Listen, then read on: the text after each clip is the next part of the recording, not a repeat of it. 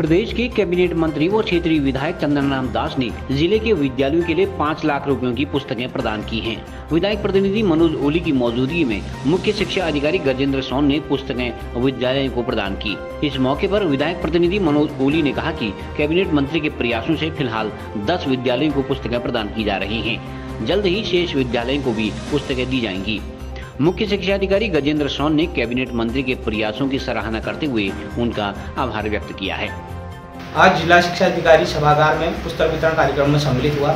माननीय मंत्री जी के द्वारा विधानसभा के विभिन्न विद्यालयों में प्रतियोगी परीक्षाओं में छात्र छात्राओं को आगे बढ़ने के लिए सामान्य ज्ञान व विभिन्न महापुरुषों की जीवनी पर आधारित पुस्तकों का वितरण वहाँ पर हुआ।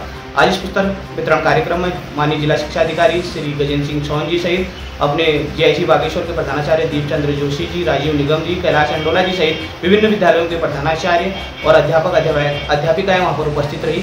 मैं समझता हूँ कि ये जो प्रतियोगी परीक्षाएँ और अपने सामान्य ज्ञान की परीक्षाएँ और विभिन्न महापुरुषों की जीवनी पर आधारित जो पुस्तकें वहाँ पर वितरित की गई, जो अपने विद्यालयों के अंदर जो पुस्तकालय हैं, उनकी स्थिति को सुदृढ़ और मज़बूत बनाने के लिए माननीय मंत्री जी के द्वारा ये पुस्तकों का वितरण वहाँ पर किया गया है। मैं समझता हूँ कि आने वाला जो हमारा छात्र है या छात्राएँ हैं, अपने भविष्य को, इन किताबों को पढ़ाकर जो उन्होंने अपना एक लक्ष्य निर्धारित किया है, उस लक्ष्य को आगे बढ़ते हुए निश्चित रूप से मैं समझता हूँ कि अपने ज़िले का नाम भी रोशन करेंगे और अपने प्रदेश का नाम भी रोशन करेंगे।